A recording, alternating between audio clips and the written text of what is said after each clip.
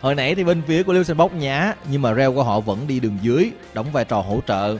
Nhưng bây giờ thì Binet khi mà đội cần một cái lượng sát thương phép thì đây chính là con reo đi rừng mang lại nguồn sát thương phép cho Binet sức mạnh của reo đi rừng thì thật ra nếu như các bạn coi um, LBL là tỷ lệ thắng khá cao nha. Tỷ lệ thành công của reo đi rừng khá là cao ở tại LBL trong khoảng thời gian vừa qua phiên bản 13.13 này.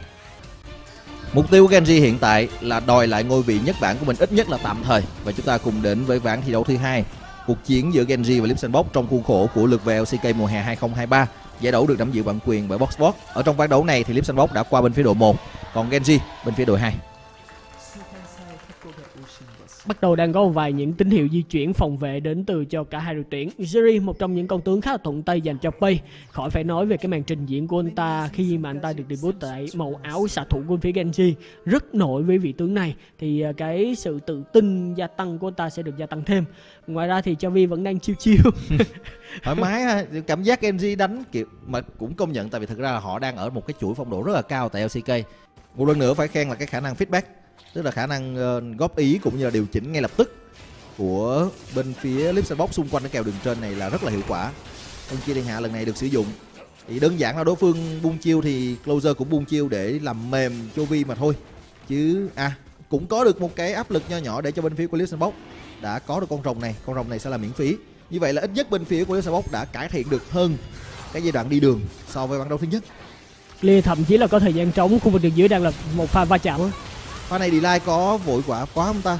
Và Bay cũng lao thẳng lên ta, dính một cú móc mỏ neo thanh tẩy được sử dụng. Và Bay là người có được điểm hạ gục. Sau đó hai xạ thủ đấu súng với nhau, nhưng điện đặt đỉnh điểm. Và sự có mặt Wheeler ở đây khiến cho Bay không còn đường lui nữa. Anh ta sẽ bị giữ chân lại trong bụi của tầm nhìn. Wheeler lao vào đẩy về mớm cho Teddy và điểm hạ gục đã có cho xạ thủ của Listenbox Genji quyết định nuôi Doran một lần nữa, nhưng lần này thì Kaen có mặt họ băng trụ nhưng bị phản công và họ đang bị mất một người lại Binet bị trụ bắn bắt buộc phải tốc biến qua tường nhưng đã có người tới lên phương Ừ, Closer cũng đang có mặt ở đây và đó là điểm hạ gục dành cho Azir của anh ta.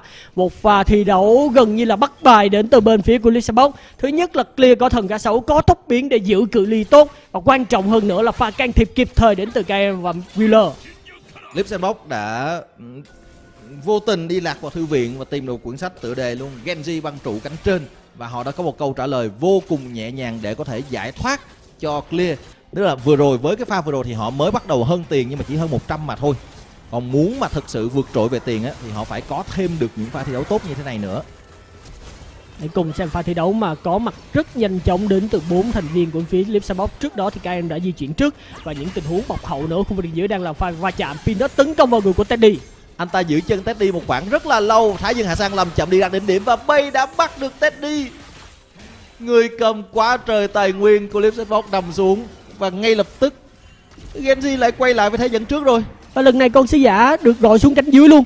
Có cơ hội để có thể gia tăng thêm cái lượng tài nguyên dành cho Pay. Tôi đang để ý thấy cái lượng tầm nhìn ở trong bụi cũng có ở bờ sông cũng có. Và lý do tại vì sao mà Teddy lại đứng hớ hình như vậy? Trụ đầu tiên cũng đã thuộc về trong phía của Genji rồi Ken làm gì có tốc biến Ken làm gì có cách để sống pha này? Lại là Bay có điểm hạ gục. Tình huống câu rỉa máu đến từ lướt e lên của Lucian nhiều khi là bị bật ngược trở lại với cú ừ. điện đạt đỉnh điểm của Bay. Bắn à. tới luôn á. Khó thật sự rồi.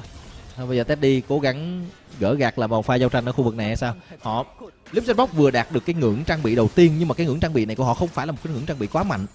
Tại vì với Asia đặc biệt với Asia ở thời điểm cầm mặt nạ tôi nghĩ rằng bên phía của Genji có thể giao tranh đó và cảm giác như khi mà họ lên món trang bị đầu tiên thì họ chưa kịp có thời gian tận dụng á. Rồi đánh luôn chứ. Họ lao vào rồng được cướp rất nhẹ nhàng bởi Minet Chui bị giữ chân lại. Anh ta rút hồn về không kịp anh ta rút hồn về không kịp và đã phải nằm xuống nhưng vẫn có khoảng trống dành cho bay. Bay đang bắn liên tục bắn vào người của clear. Clear clutch và sắc về được. Và sau đó thì bên phía của Duran nhảy tới một mình cân bốn thành viên tạo khoảng trống dành cho bay nhưng Teddy trả sát thương cũng ác lại kích hoạt phản đông nhưng mà Doran không nhảy lên được. Và lướt lên của Teddy thiếu một chút xíu sát thương. Wow. anh ta đã tắt điện được bay và cuối cùng thì Lipset cũng đã quay trở lại với thế thượng phong. Yuvi đang đứng ở một vị trí khá xa, như vậy là Genji sẽ không thể giao tranh được. Còn có pha dịch chuyển chặn đường nữa kìa. Yuvi cũng phải dịch chuyển để đổi góc. Quyền lực thiên nhiên được thả ra rồng vẫn trong tầm cạnh tranh của hai bên. Và thần ca sấu được kích hoạt vào tuyến sâu của Genji nhưng anh ta bị hủy diệt quá nhanh. Sau đó Yuvi gom ba bốn người. Khoảng trống quá nhiều cho bay đã có double kill xạ thủ của Genji và câu trả lời lại rất mãnh liệt đến từ bên phía của đương kim vô địch giải đấu. Một pha giao tranh quá thành công Teddy bị kẹt lại trong rừng của đối phương. Và anh ta sẽ phải nằm xuống cố gắng bắn vào bay nhưng không thành công. Ba mạng cho bay. Cái nhịp vào vừa rồi đến từ Clear nó không có đẹp bởi vì đó là thời điểm mà các thành viên của Lipsambok đang cố gắng để có thể tấn công vào Peanut. Và họ không có vị trí đẹp để có thể tấn công vào một thành viên nào đó của phía Genji khác. Peanut vẫn đứng gần ở khu vực hang Baron hơn. Và chỉ có một người của Genji ăn rồng mà thôi là Doran cũng được sau đó thì bay tới để cho nhanh hơn. Lipsambok không ăn kịp tại Peanut vẫn đứng ở đây. Bị xoay rồi có tầm nhìn ở trong khu vực Cameron của phía Genji và không có đủ khoảng trống để có thể di chuyển và tạo ra những tình huống bất bất ngờ của phía Lipsambok nếu như bạn không phải là KT thì bạn không outplay không out macro được. Genji Ôi. pha này bụi cây quỷ dị vào thẳng luôn Peanut bị hất về. Họ đang tấn công vào Peanut con Reo này chống chịu không nổi phải tốc biến bỏ chạy Hay. dính thanh trừng và nằm xuống mất cái trừng phạt. Lipsambok chạy ra Baron cơ hội đột biến đến từ bên phía của Lisbon. tưởng chừng như đó là một pha đu bụi cây quỷ dị hơi xa đến từ Wheeler và tự đặt bản thân của mình vào cái trạng thái khó nhưng liệu rằng có sớm hay không đây khi mà Genji cũng sẵn sàng bước vào tình huống giao tranh với bốn thành viên của mình? Nhưng ít nhất là Lipsambok sẽ giữ được con Baron này khi mà họ có trừng phạt. Genji bắt đầu lao vào Baron chỉ còn một ngàn mấy máu mà thôi. Nó được giữ cho Lipsambok họ đang đánh ngược ra. Doran lao vào quậy ở phía trong. Nhưng anh ta rất đông độc một pha tốc biến bỏ chạy nhưng không chạy được. Bay vẫn đang bắn rất rác vào Wheeler. Và cái giá phải trả cho Lipsambok là họ mất rừng. Bay vẫn đang tràn tên bắn tiếp với điện đặt đỉnh điểm bắn rất rác và Ken phải hy sinh cho đội mình được sống. Lướt tiếp qua tường bắn. Triple kill. Bay bắn tất cả mọi thứ Quadra kill 4 điểm hạ gục dành cho cái clip Rock ván hai này đánh tốt hơn rất là nhiều và họ cũng vừa có được cái ưu thế ở Baron. Nhưng rồi Baron xong thì họ lại là những người bị áp đảo sau cú Quadra của Bay và giờ đây với cái linh hồn rồng lửa đang chực chờ. Tôi không biết là tới cái tình huống giao tranh tiếp theo nếu như Genji có linh hồn rồng lửa này thì chịu sao nổi cái lượng sát thương. Phân chia thiên hạ được kích hoạt đơn nhưng giản. mà đó là tình huống đang xuất hồn mà. Quá đơn giản đến từ Chovy Eli đang rình rập. Ken là người đang bị giữ chân lại và anh ta đang chạy mà thôi. Clear lại lao vào điện đặt đỉnh điểm được kích hoạt. Bay mất nhiều máu quá, bay bấm đồng hồ. Lip sát bóc tìm được bay hay không? Duran đứng kế bên hỗ trợ và bay vẫn đang sống, nhưng máu của anh ta rất thấp. Anh ta bắt buộc phải chạy về. Pha giao tranh có thể coi là thành công cho Lip sát bóc bởi vì họ có được nhiều mục tiêu hơn. Đó một kill dành cho Closer ở trong pha thi đấu vừa rồi. Một tín hiệu tốt dành cho pha giao tranh dành cho Mexico Lipsabok nhưng hơi tiếc một điều là không có mục tiêu Không có Baron, không có con rồng nguyên tố tiếp theo. Và Pay đang rất nỗ lực để có thể hồi phục cái lượng máu của mình Và họ đang tạo ra một tình huống cố gắng tấn công vào Closer. Azir của Closer đang full máu. Doran đang đứng đợi. Ui mất chiêu mất chiêu mất chiêu mất chiêu rồi! Closer không biết được đối phương đang rình mình và khi cái combo đó được đẩy lên đó là án tử cho anh ta.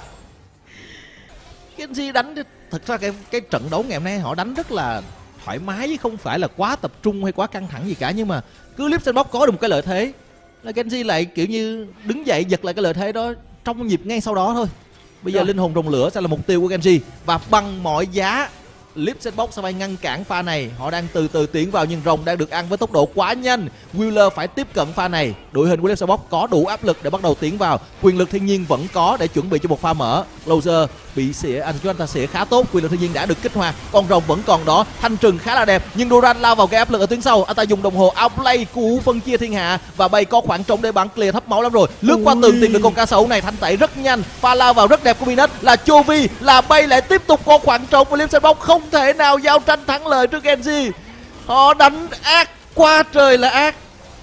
Gần 6.000 sát thương đối với con bài Jerry của Và bản thân của anh ta cũng tự tạo khoảng trống cho mình ở trong cái pha giao tranh này. Thứ nhất là anh ta có giáp thiên thần. Thứ hai nữa là anh ta dư tiền để có thể hướng tới một cái khăn giải thuật nữa cơ.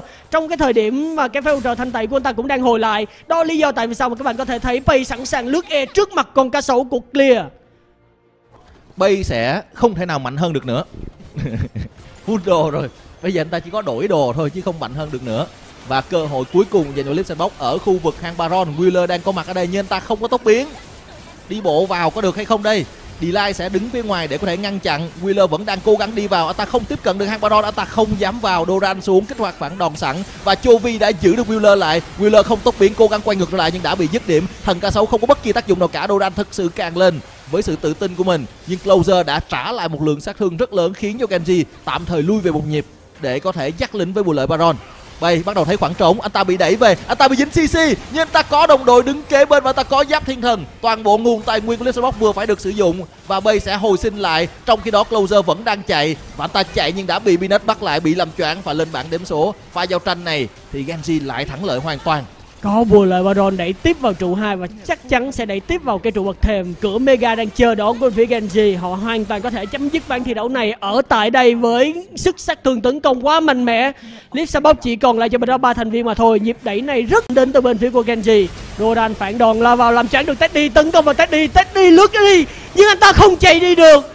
Đã phải nằm xuống và đồng đội của anh ta cũng tương tự là như vậy. Đó là cú double kill dành cho Pay quá khó khăn cho Luxembourg ngày hôm nay không phải là họ đánh dở cái sai của họ ngày hôm nay là họ gặp phải một Genji vừa mới thất bại trước KT và rõ ràng đây không phải là một trận đấu mà Genji muốn thua.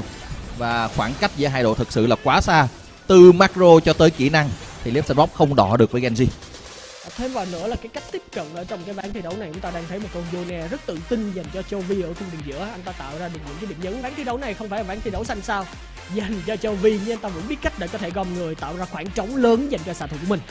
Nhìn Baby Light đi ra cười rất là nhẹ khi mà họ biết rằng một cái ngày thi đấu tốt của bản thân mình chắc là cũng có hơi tiếc đó khi mà cái thành tích cao nhất của Bay có được ngày hôm nay chỉ là quát ra kêu mà thôi.